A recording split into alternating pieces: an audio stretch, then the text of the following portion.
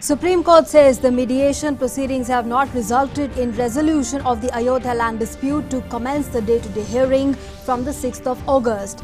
The apex court asked Centre to take decision by 14th August on Collegium's recommendation to appoint Justice A.K. A.A. Kureshi as the Chief Justice of Madhya Pradesh High Court.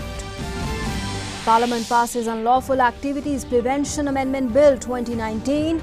The Union Home Minister Amit Shah justifies amendment seeking to declare individuals as terrorists, noting that they create new organizations once banned. Assures that no one's human rights will be violated, the four-state scrutiny will be there. India reiterates its stance saying any discussion on Kashmir with Pakistan will take place bilaterally. The External Affairs Minister Dr. S. Jaishankar gives a strong message to the US Secretary of State Mike Pompeo in the bilateral meeting in Bangkok. In international news, the US and Russia walk away from the Intermediate Range Nuclear Forces Treaty, putting an end to a landmark arms control treaty. The UN Secretary General Antonio Guterres expresses concern over the developments.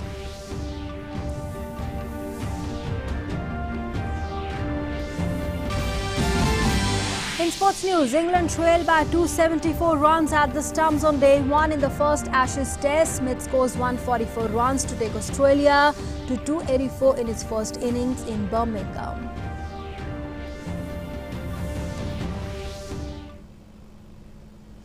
Hello and good evening. You're watching Doordarshan News with me, Nancy Kohli. Top story Supreme Court order day to day hearing from the 6th of August of the politically sensitive Ram Janmabhoomi Babri Masjid land dispute case after noting that the mediation proceedings to resolve the dispute amicably have failed. A five judge constitution bench headed by the Chief Justice Ranjan Gogoi took note of the report of the three member mediation panel headed by former Apex Court Judge FMI Kalifulla that its effort to find an amicable solution to the dis dispute have failed. And uh, news now from Parliament. Well, the Parliament on Friday approved an amendment to the anti-terror law to give powers to the central government to designate an individual as terrorist and seize his properties. While the Lok Sabha had passed the Unlawful Activities Prevention Amendment Bill 2019 that seeks to amend the Unlawful Activities Prevention Act 1967 on 24th July, the Rajya Sabha approved it by voice vote after rejecting an opposition-sponsored motion to send it to select committee with 104 votes against it as compared to 85 in the favor. The House passed the amendment to the law with 147 votes in favor and 42 against it. Replying to a debate on the amendment, Home Minister Amit Shah said that a four-level scrutiny has been provided in the amendment and no human rights will be violated. He said declaring individuals as terrorists is required as they flow different organizations once an institution is banned. NIA एक दरखास्त लेकर आती है कानून का उपयोग कर कर अभी हम संस्थाओं को आतंकवादी संस्था घोषित कर सकते हैं ये जब करते हैं तो चिदम्बरम जी ने कहा कि भाई, संस्था तो व्यक्ति से बनती है। जब संस्था को आप आतंकवादी घोषित करते हो तो व्यक्ति को घोषित करने की ज़रूरत क्या है? मेरा तर्क भी आतंकवादी व्यक्ति को घोषित करने के लिए यही भी है कि संस्था व्यक्ति से बनती है, इसके संविधान से नहीं बनती। एक संस्था पर प्रतिबंध लगाते हैं, वो दूसरी संस्था खोल लेते हैं। Union Home Minister Amit Shah also lauded the track record of the NIA in conviction in the terror cases, calling the agency's track record as outstanding. NIA के आंकड़े रखना चाहता हूँ 31 सात 2019 तक एनआईए ने कुल 278 मामले ये कानून के अंतर्गत रजिस्टर किए 278 मामलों में से 204 मामलों में आरोप पत्र दायर किया गया और कुल चौवन मामलों में अब तक फैसला आया है और चौवन में से 48 मामलों में सजा हुई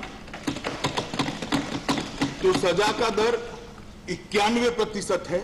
और मैं गर्व के साथ कहना चाहता हूँ सभापति महोदय दुनिया भर की सभी एजेंसियों में सजा का दर अपनी एनआईए का सबसे ज़्यादा है ये सदन के जानकारी Moving on now, the people of Vadodara breathed a sigh of relief as the rain stopped and the water began receding, bringing some respite to the residents. The State Chief Minister Vijay Rupani announced that the compensation would be given to those who were evacuated during the rescue operations. He also announced the compensation of 4 lakh rupees to the kin of those who lost their lives in the rain-related incidents. The situation is now getting back to normal quickly due to decrease in the level of river Vishwamitri and the Ajwa Dam. The efforts are on to resume water and electric supply. Heavy rains have thrown life out of gear in many cities of Gujarat. Five persons were killed and over 5,000 were evacuated from Vadodara and surrounding areas in central Gujarat that was battered by nearly 500 millimeters of rains in 24 hours till Thursday morning. And while the roads were unusable due to waterlogging and several trains were also cancelled, the operations at the Vadodara airport resumed late Thursday evening. A heartwarming video of a Gujarat cop saving a baby from floods in Vadodara has gone viral. The video shows Officer Govind Chavda carrying a 45-day-old infant in a tub over his head while wading through at least 4 feet water. The sub-inspector Govind Chavda rescued the baby girl from Devipura locality near Vishwamitri railway station in the wee hours this morning. अभी वो बच्ची डेढ़ मास की थी तो उसको rescue करना बहुत मुश्किल इसलिए था, क्योंकि वो कुछ समझती नहीं थी और हमको पकड़ भी नहीं सकती थी, हम उसको अच्छी तरह से पकड़ नहीं सकते थे। इसकी वजह से उसको कैसे रेस्क्यू किया जाए, वो सब देखा तो वहाँ उनके घर में एक प्लास्टिक का जो टब पड़ा था नहाने का, उसके ऊपर नज़र गई और उसी में फिर लाने का हम लोगों ने सोच लिया, क्योंकि प्लास्टिक पानी में तैरता है, इसकी वजह से फिर दिक्कत थोड़ी कम आएगी। तो उसका जो टॉवेल था उसी में उसको लपेट के जो सोई हुई थी लड़की, उसको सोते हुए ही हमने वहाँ से रेस्क्यू किया और जो दोरी हम लोगों ने बांधी थी, उसके ज़रिए मैंने मेरे सर के ऊपर उसको टोपली रख के फिर उसको रेस्क्यू किया। और हमको भी ऐसा हुआ कि भी आज हमने कुछ हमारी ड्यूटी में कुछ ऐसा काम किया है जो शायद ज़िंदगी में दोबारा मिले, ना मिले कोई। Meanwhile, relief and rescue works are running in full swing. Five additional NDRF teams have been deployed across Vadodara. The teams were airlifted from Pune yesterday. As of now, total 20 NDRF teams are deployed in the flood-affected Vadodara. Two columns and also two columns of the army have also been deployed in the city. And just as Vadodara heaved a sigh of relief after 24-hour rainfall came to a halt yesterday, a new threat emerged as crocodiles were spotted in the waterlogged streets. The Vishwamitri River, which flows through the heart of Vadodara, is home to over 260 crocodiles and is currently flowing well over the danger mark. In the videos from different locations across Vadodara shared on Twitter, while these crocodiles can be seen lurking and swimming in the flooded streets. So far, the officials and the Forest Department and the NGOs have rescued three crocodiles. People there are having uh, to face difficult times there in Vadodara. Meanwhile, Prime Minister Modi has assured all possible help to Gujarat to cope with the flood situation. The Chief Minister Vijay Rupani tweeted to inform this. He tweeted, I quote, had a detailed telephonic conversation with Prime Minister Modi ji about the flood situation in Vadodara briefed him about the situation and the efforts made by the state government. He further said that Prime Minister Modi ji assured me of all the possible help and assistance from the central government to meet the relief and rehabilitation efforts. I am thankful to Prime Minister Modi ji for his guidance and support. Unquote. Moving on now to news from the courts, the Supreme Court has kept in abeyance its earlier order by which it had transferred from Rai Bareli in Uttar Pradesh to Delhi the accident case in which the Unnao rape survivor was severely injured. A bench comprising Chief Justice Ranjan Gogoi and Justice Deepak Gupta took note of the submission of the Solicitor General Tushar Mehta appearing for the CBI that the accident took place last Sunday and the investigation was in progress. Mehta said that since the probe in the accident was still pending, the case cannot be transferred under the provisions of the law and sought indulgence of the bench that its transfer be kept in abeyance till the conclusion of the probe. And the Supreme Court on Friday directed the centre to take a decision by 14th August on the Apex Court Collegium's recommendation to appoint Justice A.A. Kureshi as the Chief Justice of the Madhya Pradesh High Court. A bench headed by Chief Justice Ranjan Gogoi was told by the Solicitor General Tushar Mehta, appearing for the centre, that the union government be given 10 days more for taking decision as Parliament was still in session. The bench was hearing a PIL filed by the Gujarat High Court Advocates Association seeking a direction to the centre to act upon the 10th May recommendation of the Collegium to appoint Justice Kureshi, who is currently the Bombay High Court judge, as the Chief Justice of the Madhya Pradesh High Court.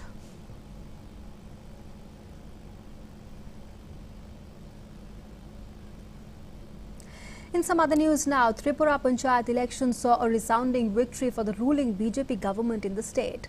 The Bharatiya Janata Party clearly made deep inroads in just concluded three-tier Panchayat elections, with the BJP getting 638 seats out of 833 Gram Panchayats. In the Panchayat Samiti, out of 419 seats, the BJP won 411.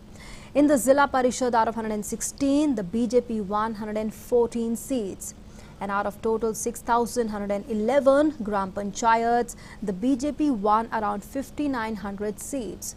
While the win for the Bharatiya Janata Party has stamped the developmental agenda that is shown by the Biplab Deb run state government. Meanwhile, Prime Minister Modi in a tweet said, I quote, Tripura's faith in the BJP for India remains unwavering. I thank the people of the state for blessing the party in the Panchayat elections across the state. The transformative work in Tripura's rural areas is positively impacting many lives. Kudos to the local unit for the hard work. I would urge the BJP for India Karyakartas from other states to interact with the Karyakartas from Tripura.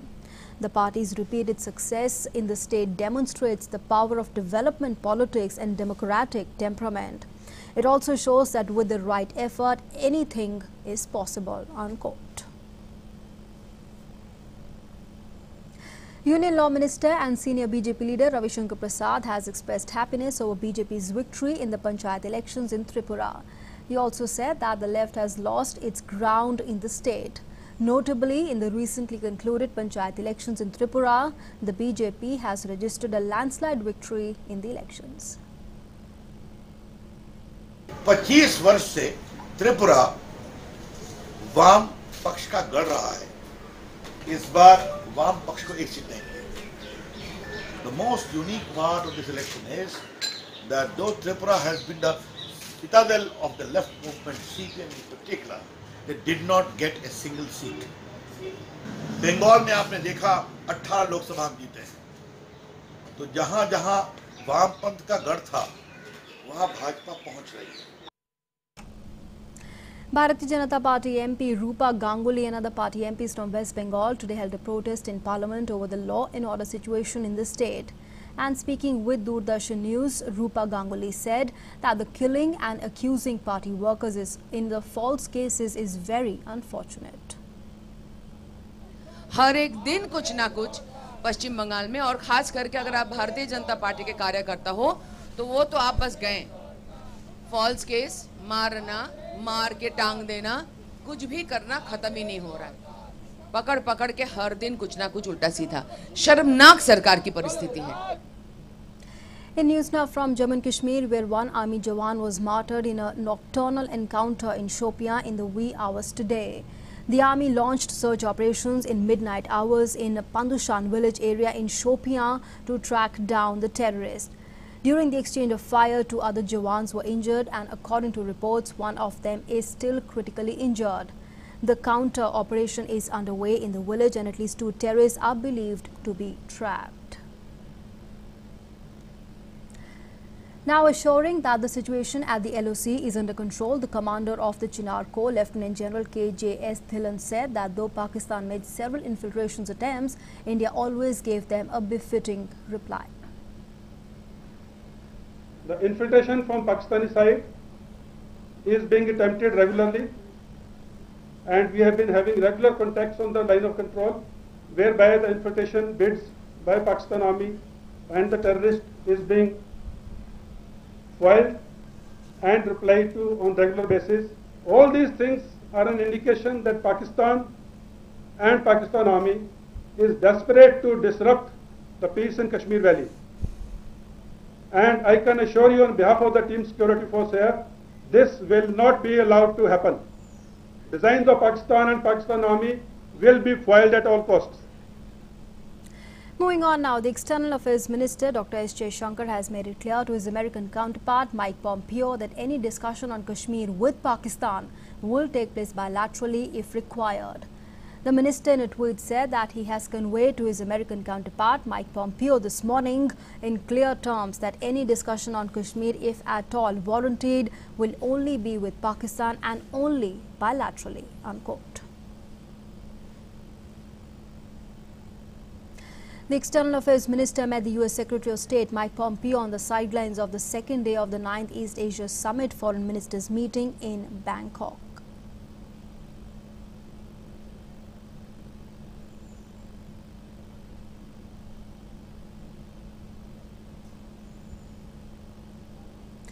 And earlier today, US President Donald Trump had said that America could assist in resolution of Kashmir issue between India and Pakistan. Moving on now, India has replied back to the offer of consular access to Kulbhushan Jadhav. Sources tell that Pakistan has been asked on Thursday to provide unimpeded consular access to Kulbhushan Jadhav in an environment free from the fear of intimidation and reprisal in the light of the orders of the International Court of Justice at The Hague. Now, Pakistan's response is now awaited. Earlier, Pakistan had said that uh, had had in fact offered consular access to Kulbhushan Jadhav on Friday. The Pakistani Foreign Office spokesperson informed this on Thursday. That's two weeks after the World Court had ordered Islamabad to allow Indian officials to meet Kulbhushan Jadhav. The move comes two weeks after the ICJ had ordered Pakistan on 17 July to undertake an effective review and reconsideration of the conviction and sentence of Kulbhushan Jadhav and also to grant consular access to India without any further delay. Jadhav, a retired Indian Navy officer, was sentenced to death by a Pakistani military court on the charges of espionage and terrorism in April 2017, following which India had moved the International Court of Justice seeking a stay on his death sentence and further remedies. The United States and Russia both walked away from the Intermediate Range Nuclear Forces Treaty, putting an end to a landmark arms control treaty that President Ronald Reagan and Soviet leader Mikhail Gorbachev signed three decades back. United Nations Secretary General Antonio Guterres is concerned with the rising tensions between nuclear armed states with the expiration of the Intermediate Range Nuclear Forces Treaty. I am troubled by growing friction among the two largest global economies. We need to learn the lessons of the Cold War and avoid a new one. Looking into the not so distant future, I see the possibility of the emergence of two competing blocs, each with their own dominant currency, trade and financial rules, their own internet and artificial intelligence strategy, and their own contradictory geopolitical and military views. We still have time to avoid this. And moving on now to some more news from around the world, the South Korean Presidential Office uh, convened an emergency security meeting to discuss what appeared to be North Korea's third missile launch in just over a week. South Korea's military said unidentified short-range projectiles were fired on Friday from North Korea's South Hamgyong province into the East Sea.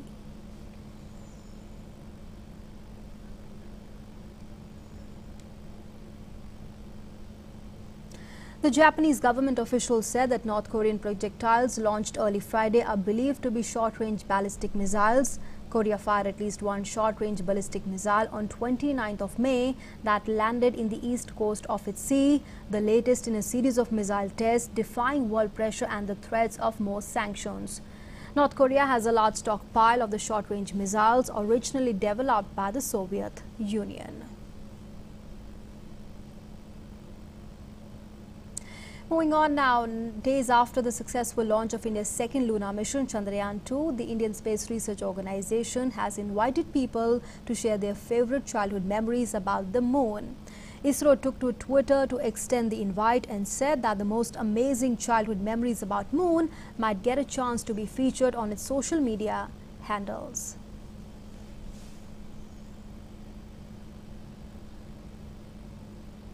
Moving on now to sports news. While Steve Smith made a magnificent 144 on his return to Test cricket after the ball tampering scandal to halt England's charge on the opening day of the Ashes at Edgbaston.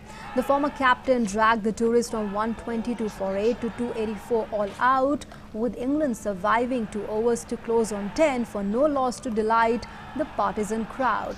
Smith joining teammates David Warner and Cameron Bancroft in making his test comeback was booed to the crease and witnessed a collapse of five wickets for 23 runs from the non-striker's end.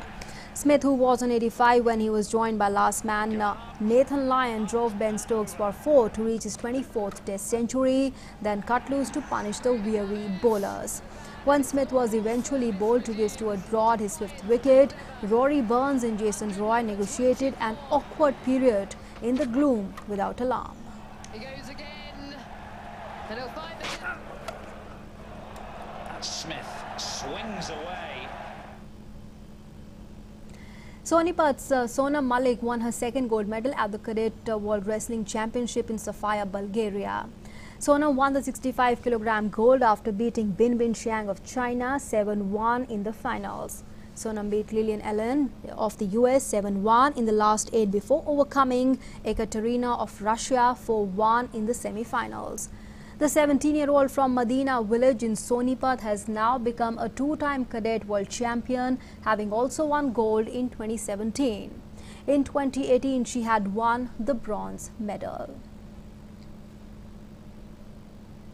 And in badminton, B Sai Praneeth sailed into the quarterfinals and stormed into the last eight round with a comfortable 21-18, 21-19 win over compatriot Shubhankar Dey. Kidambi Srikanth, Parupalli Kashyap and H.S. Prannoy all crashed out in the second round. Srikanth lost to Khosit Phetpradab of Thailand, Kashyap to Chou Tien Chen of China and Prannoy to Kenta Nishimoto of Japan. And in the women's singles, seven seed Saina Nehwal, who returned to the action after nearly two months, squandered a game advantage to lose against unseeded Sayaka Takahashi of Japan in the second round. And in the mixed doubles, the pair of Satvik Sairaj Ranki Reddy and Chirag Shetty moved into the quarterfinals after registering a straight game win over Indonesian combination of Fajar Alfian and Muhammad Rian Ardianto. The Indian duo will next play qualifiers Choi Sol-gyu and Seo Seong-jae of Korea tomorrow.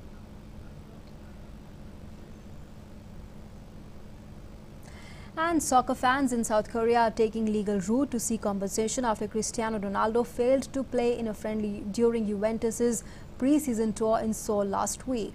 Ronaldo had been contracted to play at least 45 minutes against K League All Stars, according to event organizers, but ultimately he sat out the entire game at a packed Seoul World Cup stadium. An online community was formed on South Korea's web portal to protest Ronaldo's lack of participation, and two members reached out to lawyer Kim Min Ki to file a lawsuit against the match organizers. While the lawsuit is seeking compensation of 70,000 won per ticket, that's 1,000 won for the ticket commission free and 1 million won each for compensation for what they call a mental anguish. And Arsenal have signed forward Nicolas Pepe from French club Lille for a club record fee. He is now the most expensive African footballer of all times. The 24-year-old Ivory Coast international signed a five-year deal and will wear the number 19 shirt at the London club. He becomes the fourth most expensive signing in the Premier League history after Manchester United duo Paul Pogba and Romelu Lukaku and Liverpool defender Virgil van Dijk.